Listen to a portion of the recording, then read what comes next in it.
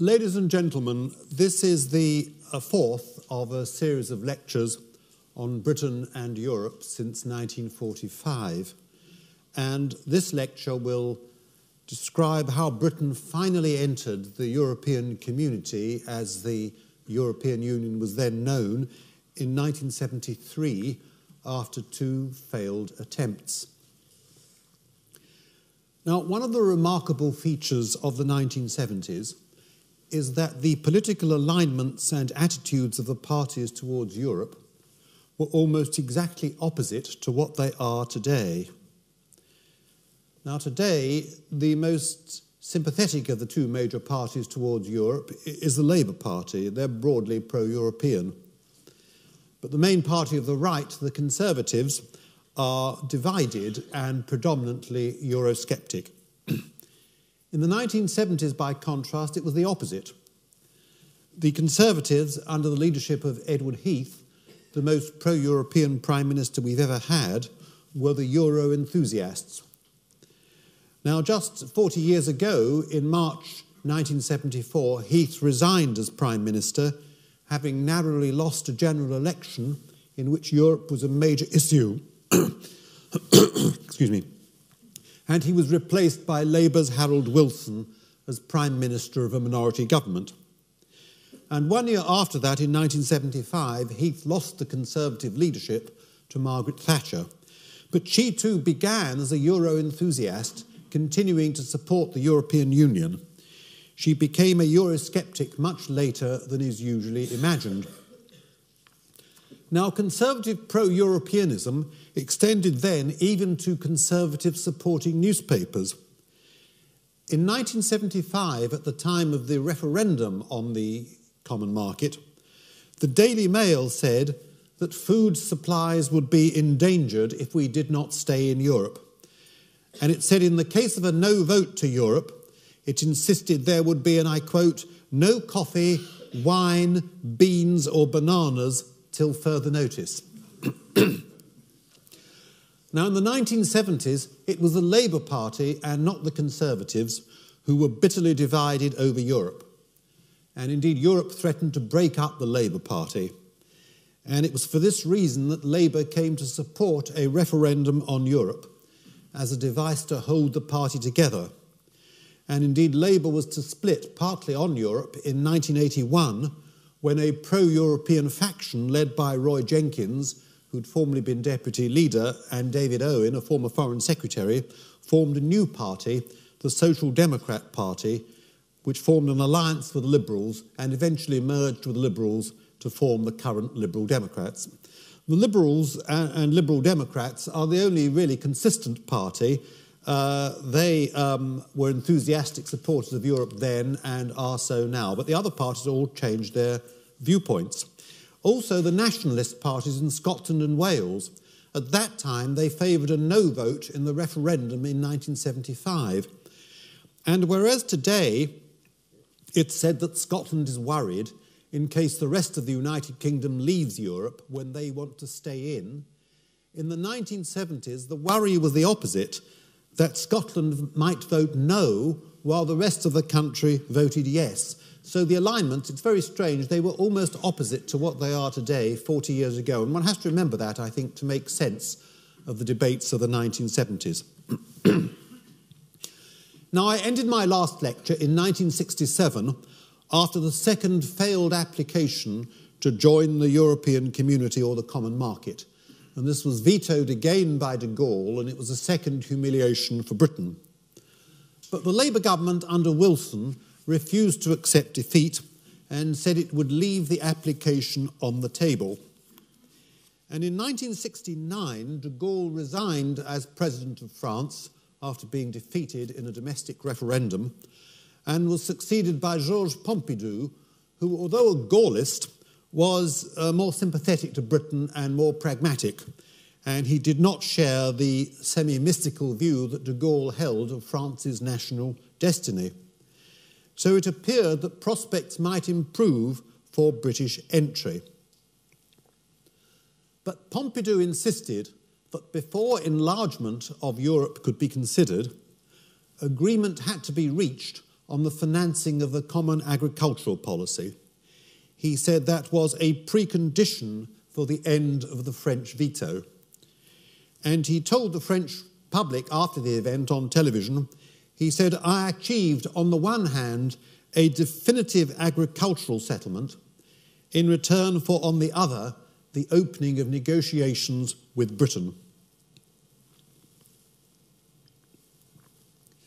Now, the effect of the common agricultural policy was that Britain would be the second largest net contributor to the European community budget after Germany.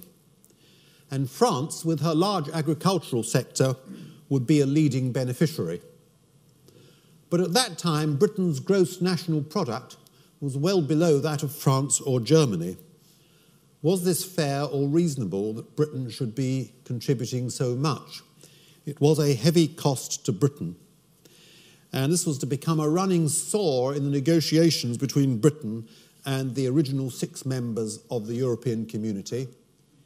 It was to remain a serious problem for Britain after she joined until it was finally settled after much negotiation by Margaret Thatcher in 1984.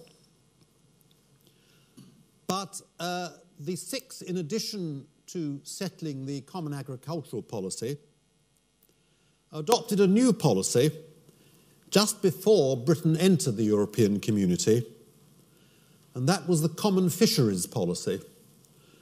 And that was adopted on the day that negotiations opened with Britain. Now, this again was damaging to British interests because she had huge reserves of fish, which would not otherwise be open to the fishing fleets of the other six.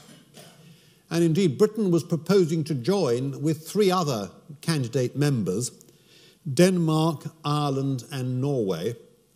And if you take those four together, their fishing catch was more than double that of the original six that were imposing the common fisheries policy. And they adopted the policy on the day that negotiations opened with Britain. Now, the common fisheries policy was a main reason why Norway did not join the European Union. She rejected it in a referendum. She didn't want her fishing fields to be open to those of the other member states. But Britain could reasonably regard it, I think not unfairly, as a hostile act on the part of the Six to open a common fisheries policy and begin negotiating it and completing it before Britain actually joins so that her or our interests suffered from it. There was another policy being developed at the time, which is very controversial now, but oddly enough, British leaders didn't find it so controversial then, and that was European monetary union and the idea of a common currency. Now, many people think the Eurozone uh, and the uh, Euro and all that is a fairly recent development in Europe, but it was first planned long ago, almost 45 years ago. It was proposed in a report for the European community by Pierre Werner, who was the Prime Minister of Luxembourg and had been asked to produce a plan by the Six. and he produced his plan in 1970. And what the Werner report proposed was a total and irreversible convertibility of currencies with permanent fixing of rates.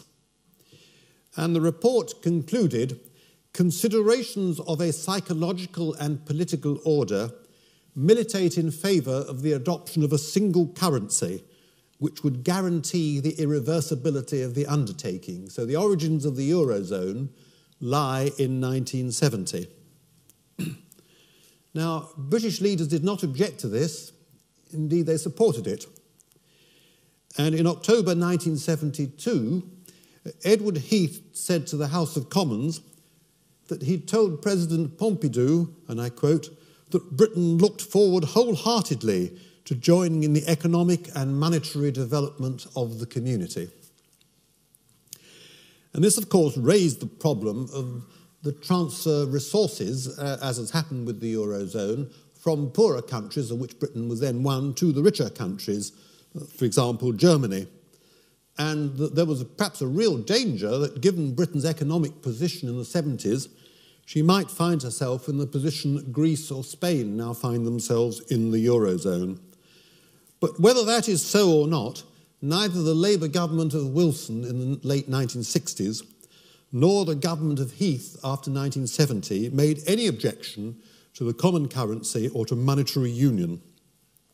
They were both then prepared to support a policy which now both parties reject a common currency. And all this is clear evidence, and there was public knowledge for it, that the European Union was more than a mere trading arrangement, and anyone who wanted to establish the facts could easily do so. Uh, and that it had at its aim ever closer union, political union.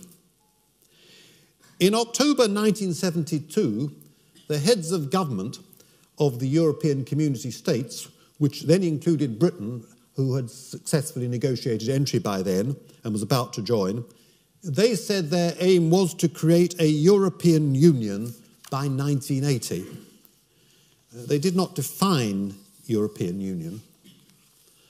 But in 1973, the heads of government met, and that included Britain, who was now in the European Union, and they issued the following declaration. They said the member states, the driving force of European construction, affirm their intention to transform, before the end of the present decade, the whole complex of their relations into a European Union. And they added the heads of state or of government reaffirm the determination of the member states to achieve economic and monetary union. That was all on the record. Now, uh, it wasn't clear what European Union meant. And someone said to President Pompidou this was an unclear phrase. And President Pompidou replied, that is, that is the beauty of it. but the Danish Prime Minister Mr. Jorgensen did query what this meant, and the record of the discussion say he asked, was it a federation, a confederation, or something else which they were trying to set up? But the British record of the discussion continues. Happily, he did not ask for a reply, and President Pompidou lost no time in winding up the proceedings.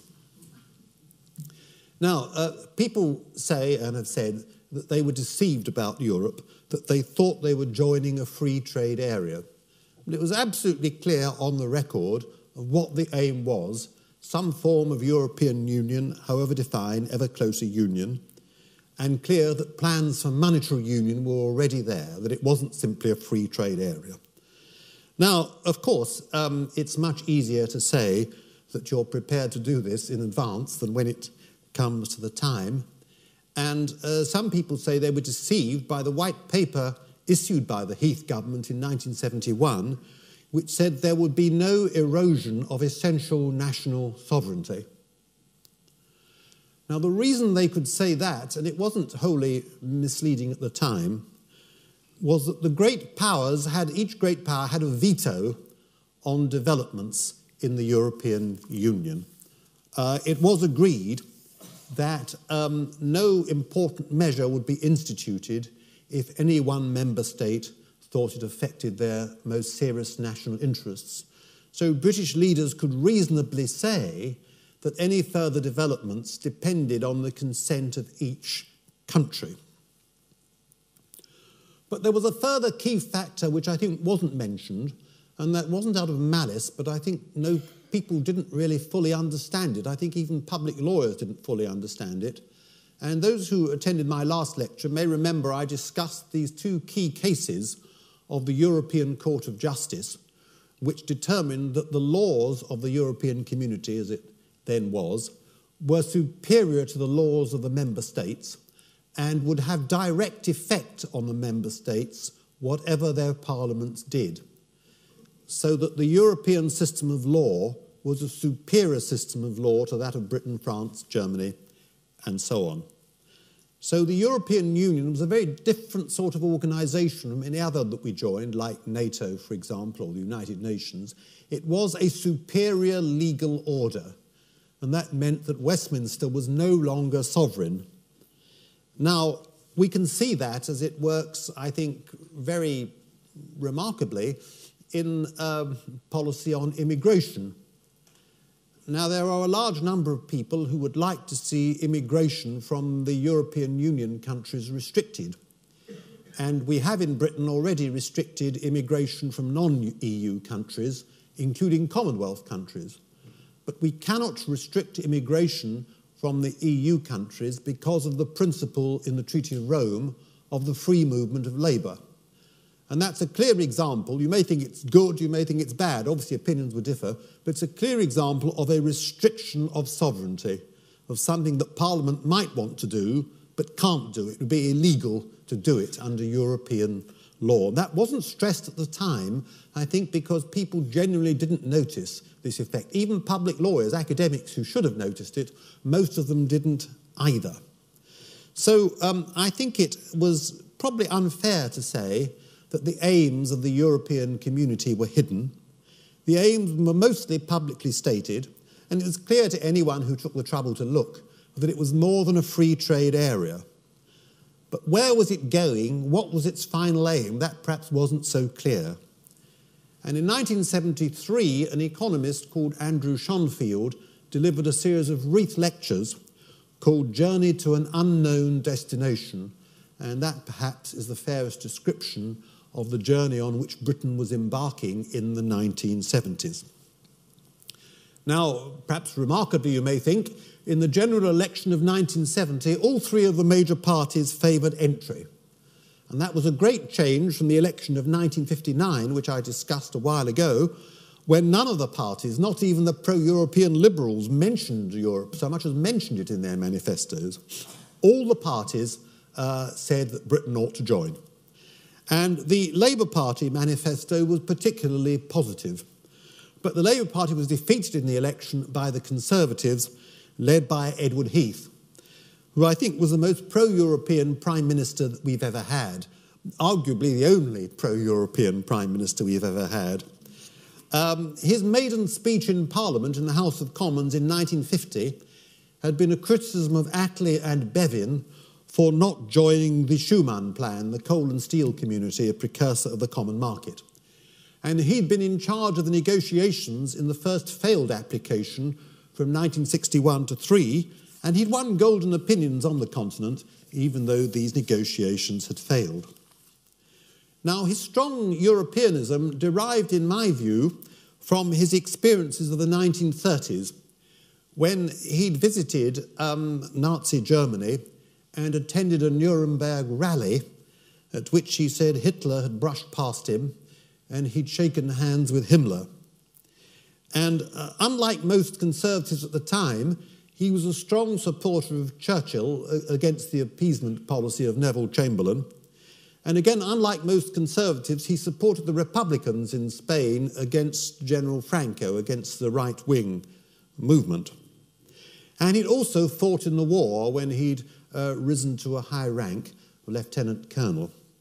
And for him, a united Europe was the best guarantee against future wars. And after successfully negotiating British entry, he made a television broadcast in which he said this Many of you have fought in Europe, as I did, or have lost a father, or brothers, or husbands who fell fighting in Europe. I say to you now, with that experience in my memory, that joining the community, working together with them for our joint security and prosperity, is the best guarantee we can give ourselves of a lasting peace in Europe.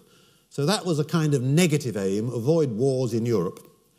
But there was also a positive and strategic view of the future, the future of Britain in Europe, complemented um, um, by uh, a mastery of detail on the subjects uh, that he was negotiating in. He had a view of Europe as a power uh, on it in its own right. And he'd first shown that mastery of detail in the negotiations in 1961 on such matters as butter and cheese, very detailed matters. And this had caused him to be caricatured by Private Eye in a description which he never entirely shook off of Grocer Heath, or the grocer, and originally in private eye, he was accompanied by a senior civil servant called Sir Brussels Sprout.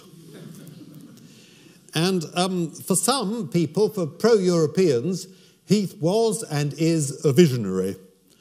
For his, the opponents of Europe, he's someone who sacrificed British nationhood and sold the country's interest out. For extreme, extreme anti Europeans used to call him Traitor Heath.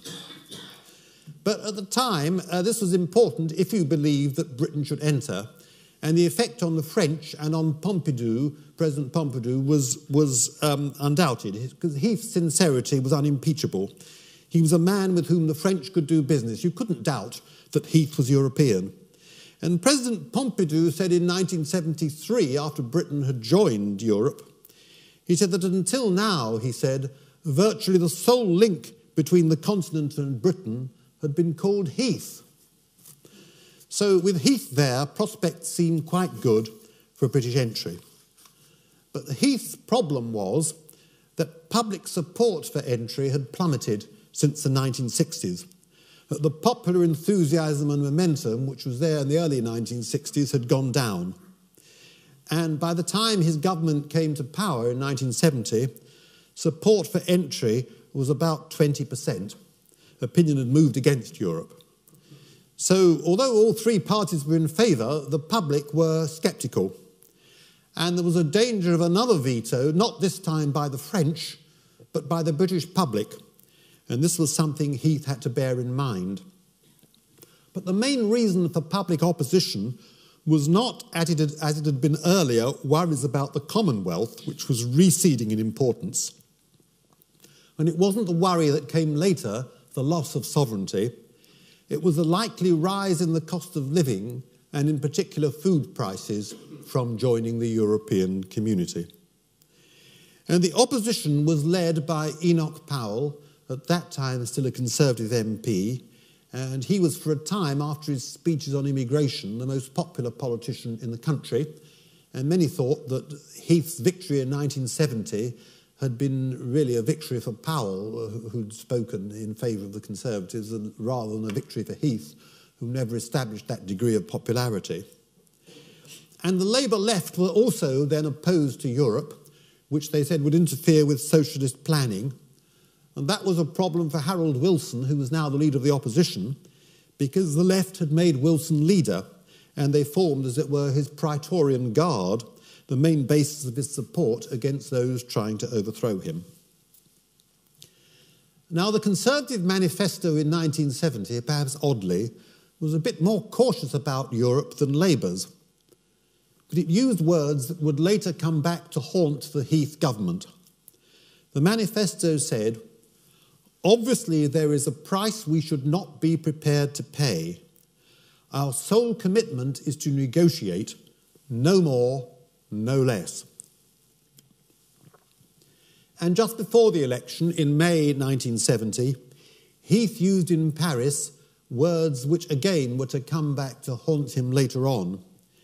He said that Europe could not be enlarged without, I quote, the full hearted consent of the peoples and parliaments of the applicant countries. Now, Heath said that what he meant uh, as anyone who knew the British Constitution should know, that the consent of the people in Britain, as opposed to perhaps the other applicant countries, was given not separately in a referendum, for which there was no constitutional basis at that time, but through Parliament. So approval of the peoples and parliaments meant in Britain approval of the people through Parliament. But he had in fact spoken of peoples and parliaments, not the people through Parliament. So he was open to criticism when he took Britain into Europe without seeking popular approval.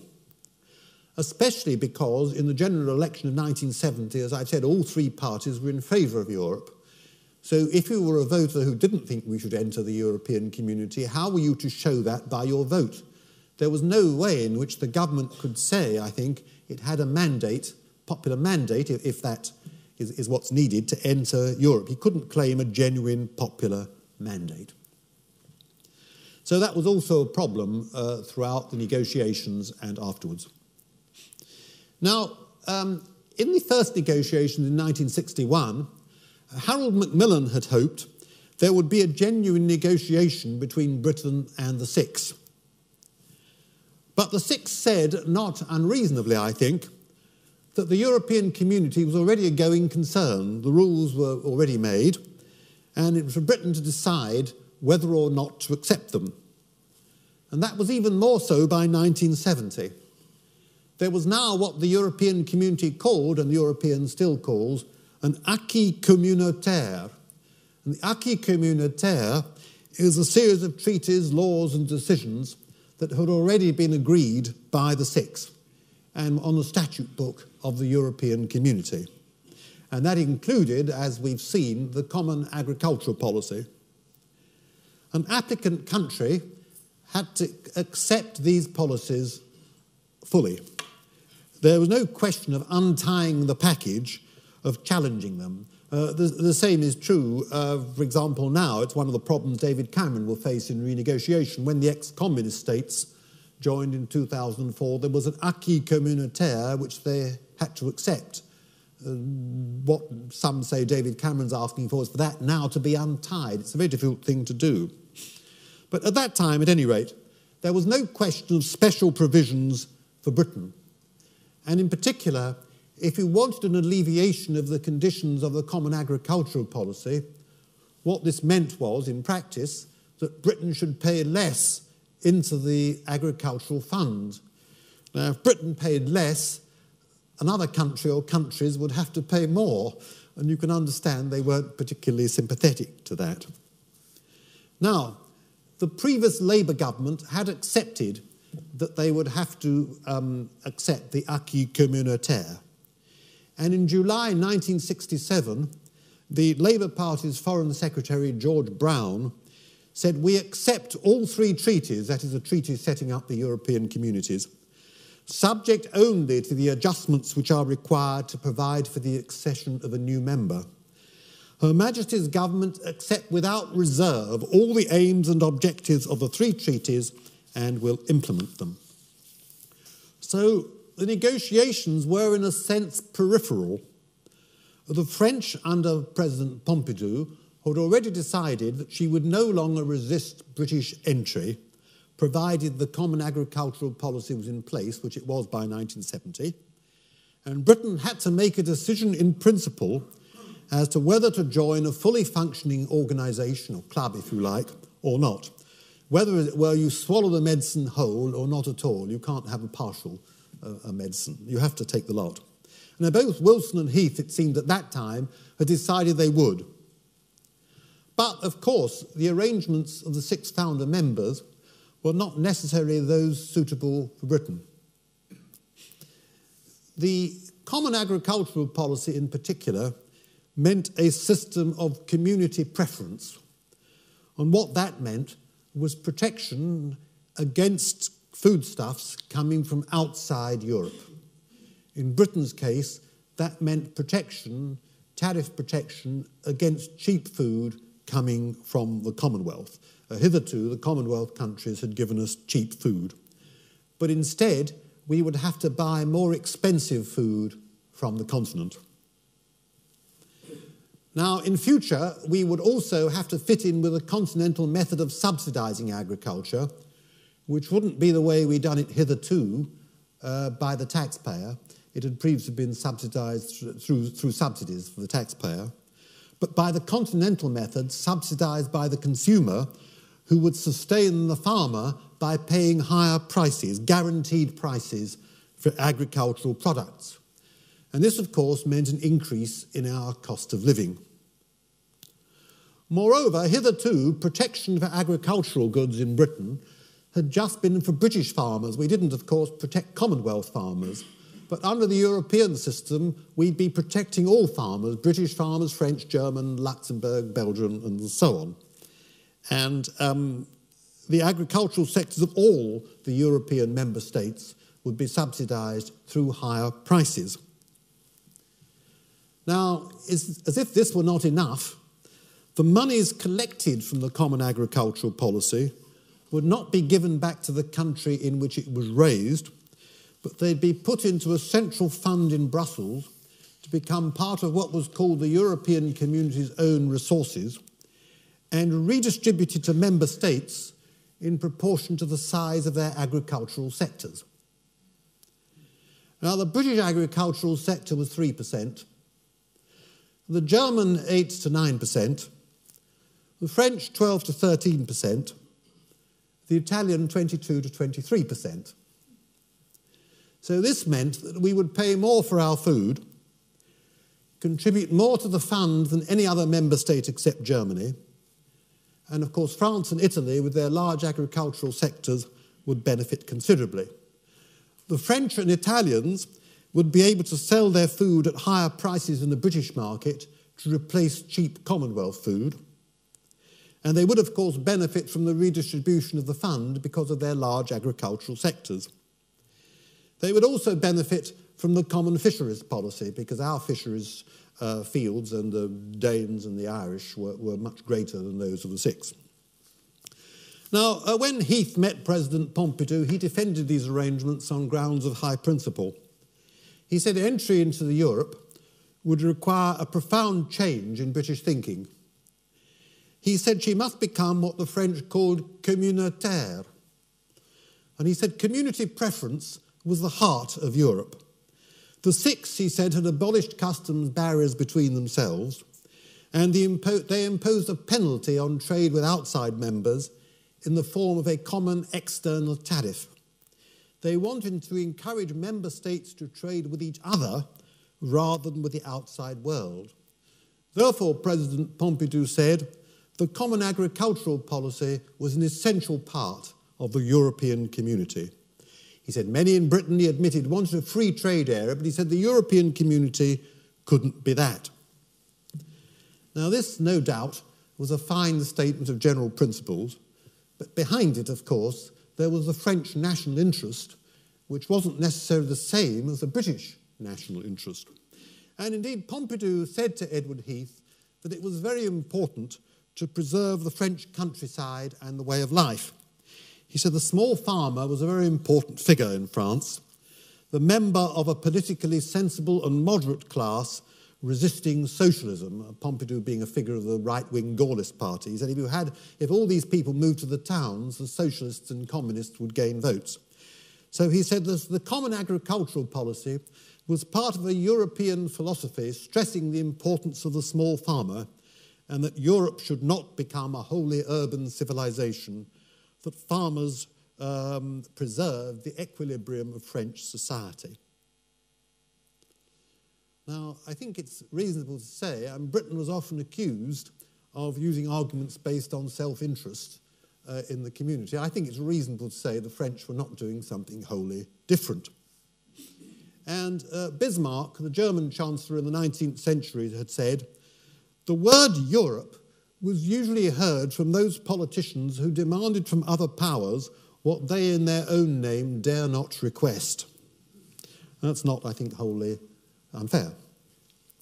Now, the common agricultural policy was buttressed by the veto. As I said earlier, um, no major policy could be changed no major development could occur except by unanimity. And that had been insisted upon by de Gaulle it was called the Luxembourg Compromise. It wasn't really a compromise, though it did occur in Luxembourg. Uh, and de Gaulle insisted that on matters of vital national interest, each country should have a veto. And Britain, of course, favoured this because we were worried about majority voting and the loss of sovereignty. But again, all this was in French interest. Once you had secured the common policies which benefited France, such as the common agriculture policy and the common fisheries policy, it was sensible to freeze the community. So you couldn't alter or amend the policies without unanimity. And you couldn't introduce any new common policies which might perhaps benefit Britain without unanimity. Edward Heath very much hoped that these policies could be complemented by a regional policy, um, a European regional policy, which would help the depressed industries and regions in Britain. And there might be other policies, which common policies, which might be developed, which, unlike the agriculture policy, would help Britain. But that couldn't come about without unanimity. The veto remained until 1986. the Single European Act, which was an amendment to the Treaty of Rome, and it was removed remarkably, you will think, at the insistence of the British government led by Margaret Thatcher. It was she who was responsible for the removal of the veto, and for this reason, that Britain said she had a great interest in completing the internal market. That is, the removal of non tariff barriers to trade. And Britain argued, I think rightly, this would help particularly the City of London. But you couldn't do that if the removal of every single barrier would be subject to a veto. There were over 300 of them, I think. If everyone was subject to veto, you'd make no progress. So Britain insisted there should be majority voting. That ended the veto. Now, uh, so far, I may have given a negative case about British entry, but the pro marketers had a reply. They said this The cost of Britain for these policies was, and still is, a comparatively small proportion of the British budget, around 1% of gross national product. It's now a bit over that. And this is counterbalanced, they said, by the fact that Britain would secure entry into the internal market. And it's one of the problems that people who wanted to leave the European Union have that uh, to, to achieve entry into the internal market, you have to accept the rules of the European Union. And so you, you might be outside the European Union, but subject to the rules and having no role in helping to make them. And the British also said that there would be what they called dynamic effects from British entry. And these dynamic effects would be that entry into European industrial markets would assist British industry. Now, the trouble was that these dynamic effects were highly uncertain whereas the costs were absolutely assured.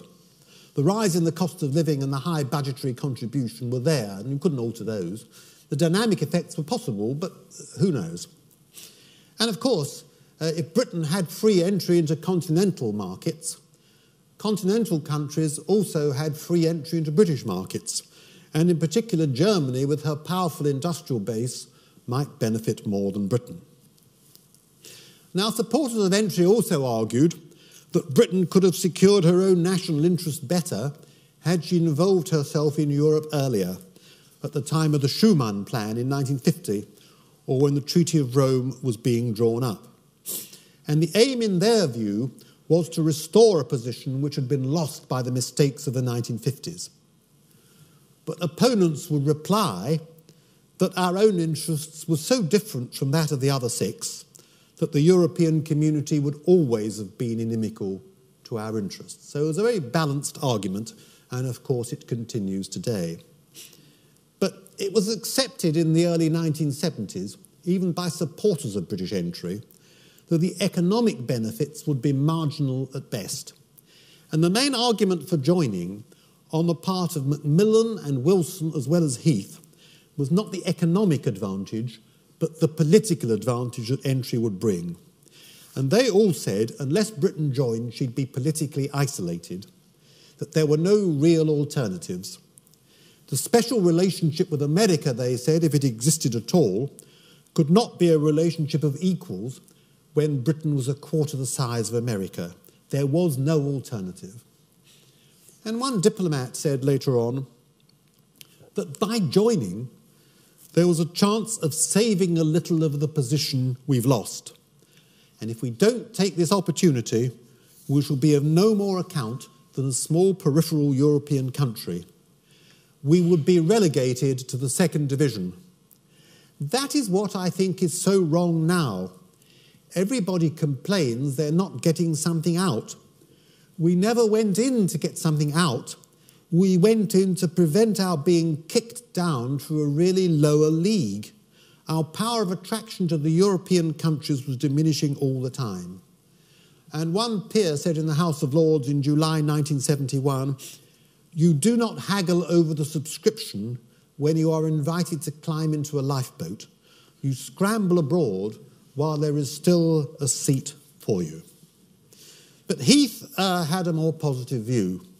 For him, joining Europe was the beginning of a journey which would lead not to a federal Europe, because he, like the French, had little interest in that, but closer political collaboration between the member states, including defence, so that Europe could be a real power in the world and decisions in Europe would no longer be dominated by the Americans. It was an attempt to end the hegemony of the superpowers in his view. And he said Europe could not hope to exert any influence unless united. It had to have a powerful economic base given to it by the European community. And then Europe could develop a political personality of her own, which would no longer be that of a vassal state of America. He wanted a strong Europe to speak with a single voice. He had a historical view of Britain's place in Europe. Oddly enough, it wasn't very different from that of de Gaulle or of de Gaulle's disciple, President Pompidou. A Europe des patries, a Europe des États, a Europe of nation states. And his view was very similar, I think, to the French view. So it was clear that Britain, British leaders, whether Labour or Conservative in 1970, saw no alternative and the negotiations were basically on comparatively peripheral matters. They were not fundamental. They concentrated on various transitional arrangements. Now, the negotiations were in effect sealed in May 1971 when Heath paid a state visit to Paris and he met uh, President Pompidou and uh, they had dinner. And at the dinner, Pompidou said, through two men who are talking to each other, two peoples are trying to find each other again, to find each other to take part in a great joint endeavour. The construction of a European group of nations determined to reconcile the safeguarding of their national identities with the constraints of acting as a community. Again, very fine words but they meant that the Entente Cordiale was being revived. And after the meeting, Pompidou gave a press conference and he said this Many people believed that Great Britain was not and did not wish to become European, and that Britain wanted to enter the community only so as to destroy it or divert it from its objectives. Many people also thought that France was ready to use every pretext to place in the end a fresh veto on Britain's entry. And then he turned to Edward Heath and said, Well, ladies and gentlemen, you see before you tonight two men who are convinced of the contrary. And he said he had put four questions to Edward Heath. He said, First, did he accept the very basis of the European Community for Agriculture, the principle of community preference, whereby we feed ourselves in the first place from within the community? And Heath had replied, yes. He then said, Do you accept the veto, the rule of unanimity? And Britain again said, Yes. Then he said, Do you accept that sterling should end its role as a reserve currency and Britain should play her part in the development of monetary union? And Heath again said, Yes. But the most important question, he said, was the fourth one Would Britain become really European? Would Britain answer the question first posed by de Gaulle? And Pompidou put it in this way whether Britain, which is an island, had decided to moor herself to the continent, and if she was therefore ready to come in from the wide seas which had always drawn her. And he said Edward Heath had convinced him that his conception of Europe was similar to that of the French. So that seemed settled. But Heath now had um, really a much larger problem, which was to win over parliamentary opinion. And at first sight, that did not seem a problem because he had a majority of 30 in Parliament. The trouble was that there were over 15 Conservative MPs including, of course, Enoch Powell, who would vote against Europe uh, under any circumstances, that there were more anti Europeans than made up his majority. Now, he could rely on the support, there were six, only six Liberal MPs then, he could rely on the support of five of those, but even that wouldn't be enough. He would need the support of the Labour Party. Now, at first sight, that didn't seem to be a problem because, after all, as I've said, the Labour Party had made the application in the late 60s. Its manifesto in 1970 had been even more enthusiastic than the Conservatives. It had left the application on the table. But in opposition, the activists in the Labour Party, the constituency members, were moving against Europe. The left wing was moving against Europe. And they said you can use the European issue to vote against Heath and remove him from power. And they said if Harold Wilson doesn't join with that, we will get rid of him and replace him by someone who will remove Heath on the European issue. And less than a year after the June 1970 election, the challenge appeared. Now, it didn't come from the left, it was more dangerous than that. It came from a leading figure of the right, James Callaghan, who'd been Home Secretary and Chancellor in the Labour government, and a man very popular with the grassroots of the Labour Party. Indeed, he said he didn't need opinion polls to tell him what Labour Party people were thinking. In May 1971, Callaghan was due to make a speech in Manchester, and he briefed the press beforehand that they ought to come down if they wanted to hear the next leader of the Labour Party. And that, of course, got to Wilson's ears and I think rather frightened him. Callaghan attacked the Conservative approach to Europe. He said it would mean a complete rupture of our identity and said that monetary union would lead to unemployment.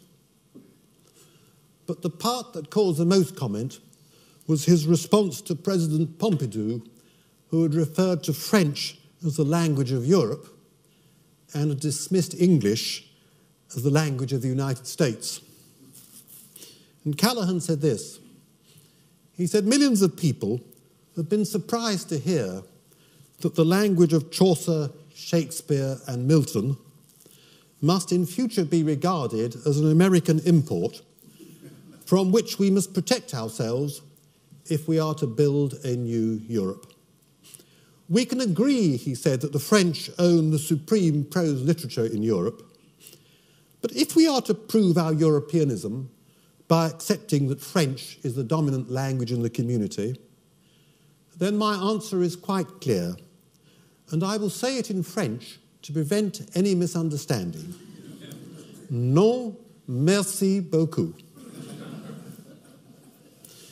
Now, what he was saying non merci beaucoup to was the idea of the French language superseding the English.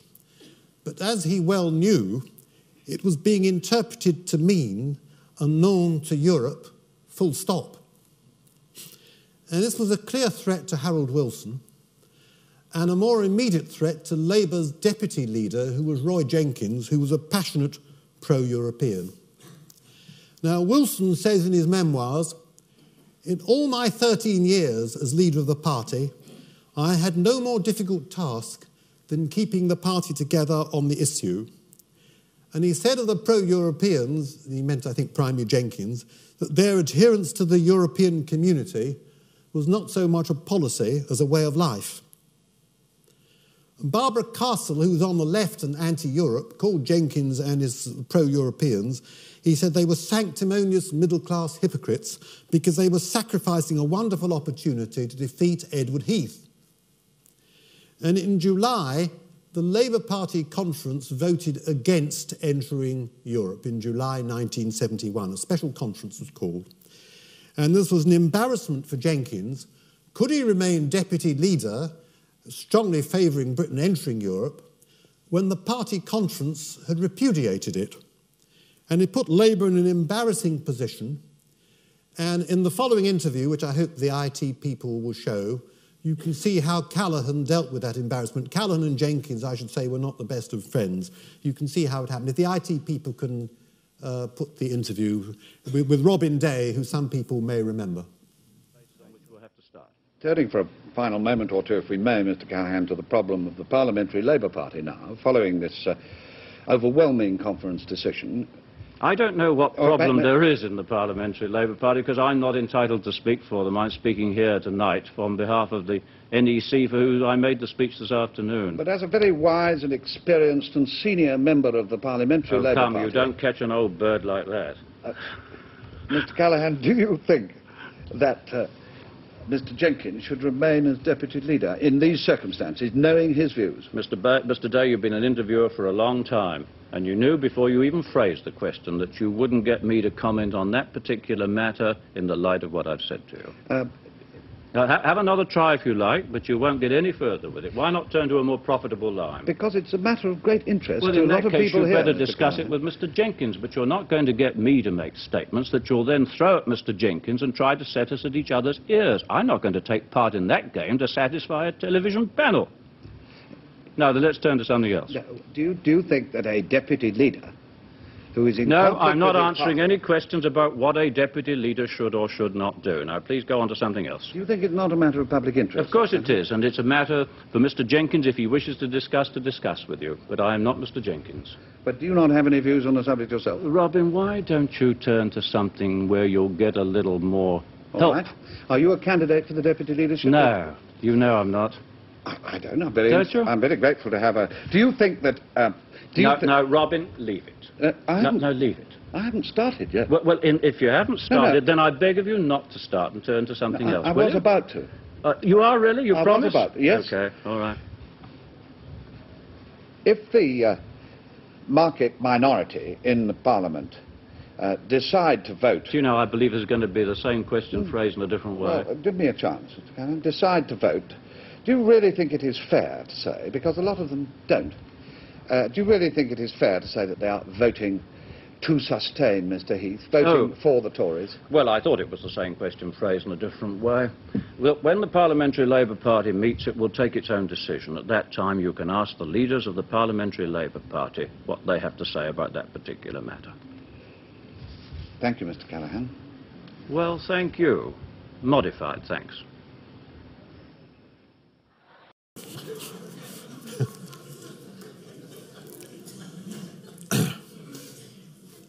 Now, the pressure on the um, leadership of the Labour Party came to be such that it appeared the Labour Party would commit itself not only to voting against Edward Heath, but committing the party to withdraw from Europe if it won power. And Wilson, at this point, said he would resign as leader if Labour made that commitment. And eventually, a formula was discovered by which the Labour Party could unite. And the formula was this that they would vote against entry in Parliament on what they called Tory terms. They would then support a renegotiation if the Labour Party won the election, and they would put that to the British people in a general election or referendum. And that's a mirror image of what David Cameron said last year in his Bloomberg speech on Europe. He said he would renegotiate the terms of European entry, and he would then put it to the British people in a referendum. Uh, the referendum was originally Tony Benn's idea, but he had no support, though Callaghan said rather presciently, Tony may be launching a little rubber life raft, which we will all be glad of in a year's time. And eventually the Labour Party did commit itself to a referendum, and Wilson supported it to prevent Labour committing itself to withdrawal. But there was clearly a real danger with this position that Heath would be defeated because the Labour Party was committed on a three line whip to vote against so called Tory terms. However, 69 Labour MPs, led by Roy Jenkins, broke the whip, as it were, and voted with the Conservatives, and a further 20 abstain. And it's through them, whether you think it a good thing or not, it's through the Labour rebe- rebellion, the Labour rebels, that we entered Europe. And that, in a way, is the genesis of the, what was going to be the split in the Labour Party in the early 1980s that led to the SDP. Heath had a majority of 112 in the vote, so you can see without the 69, he would not have won a majority. He would have been defeated. Uh, he was so pleased that he celebrated in a way that only Heath could do. He returned to number 10 Downing Street and played on his clavichord the first prelude from Bach's 48 Preludes and Fugues. He was a keen amateur pianist, and this was his way of celebrating. However, he faced a problem later on because uh, this was a vote of principle, but the rebels uh, were not able to vote with him on the implementing legislation. So that was often on a knife edge, and the second reading was carried by just eight votes, and the third reading by just 17 votes. It was a huge battle to get it through, and Heath made it a matter of confidence. He said a defeat would mean an immediate dissolution of Parliament and a general election. In January 1972, Heath signed the Treaty of Accession in Brussels. He invited Harold Wilson to attend, but Wilson declined. And we joined on the 1st of January 1973. We've been a member for just over 40 years, though um, a few years ago I heard speaking at Chatham House a Labour MP, from a safe seat in the north of England, who said he'd been canvassing and a constituent came up to him and said, I'm, I'm for you, I shall vote for you. He said, but the one thing I really don't like is Europe, and I don't think we should join. And this Labour MP said, but we have been a member of the European Union for, nearly 40 years now. And the reply was, isn't that just typical of the politicians? They never tell you anything.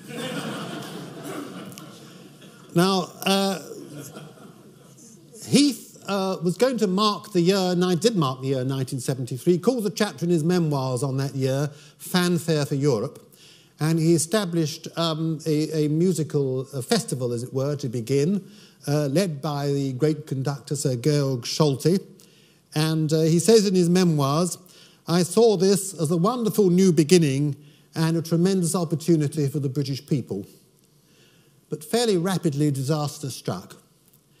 First, there was a rise in food prices and the cost of living, which was very damaging to the Heath government, which was trying to carry out an anti inflationary policy and a green incomes policy with the unions. That was very difficult when from outside you had this external rise in food prices.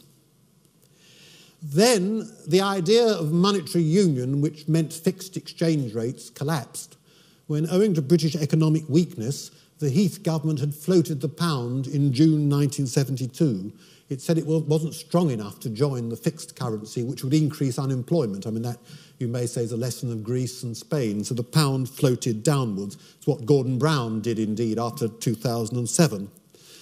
And this uh, incurred the anger of President Pompidou, who said that fixed exchange rates were vital for the proper functioning of the common market and that floating was incompatible with that. And he said the motto of the city of Paris was fluctuat nec mergitur. And when asked to translate that, he said, He who floats doesn't join. now, Pompidou had very cleverly linked British accession to monetary union with the establishment of a European regional fund, which meant money for Britain, depressed industries and regions, and so on.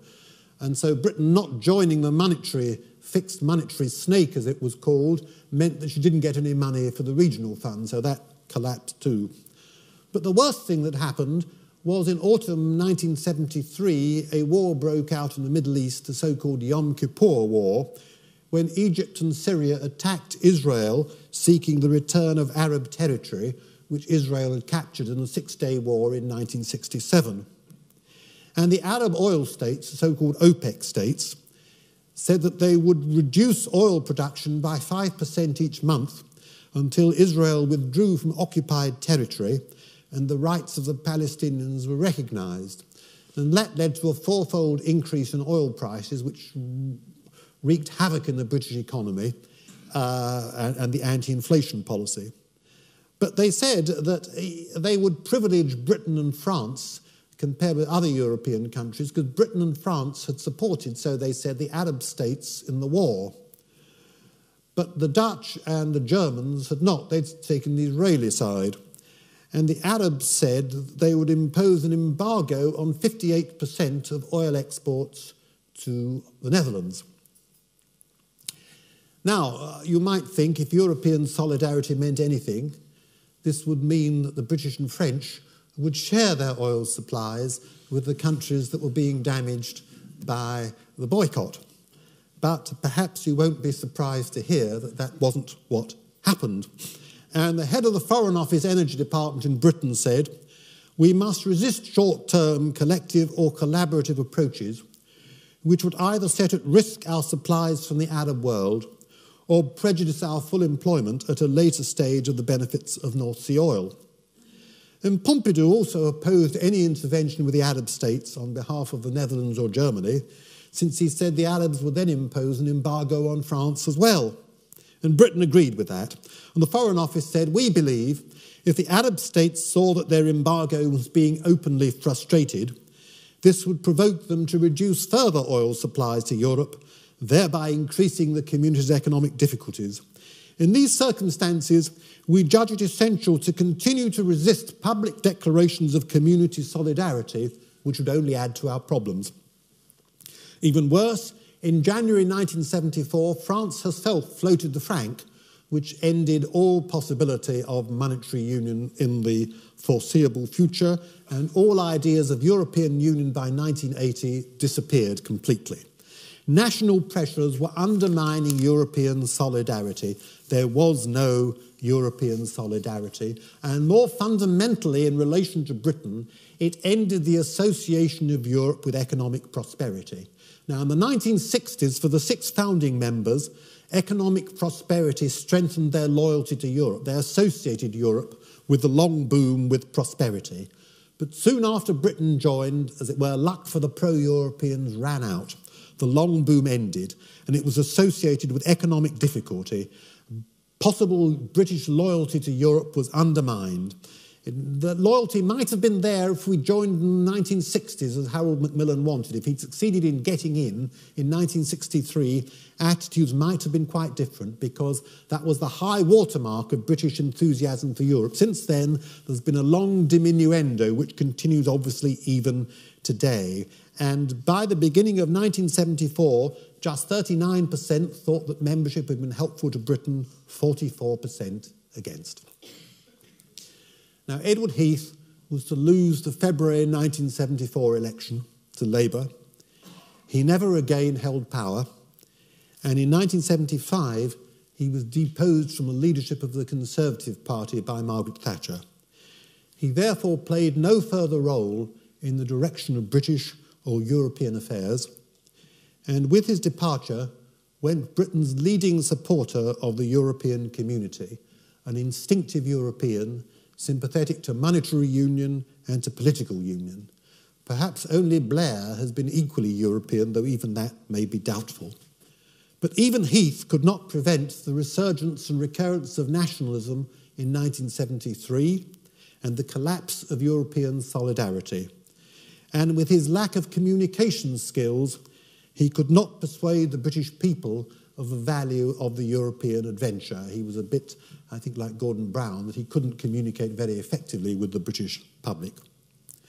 But whether you think that Edward Heath was a visionary or tragically misguided, I hope you will all agree that the problems we face in Europe are by no means new ones, but were all, I think all of them, prefigured in the 1970s.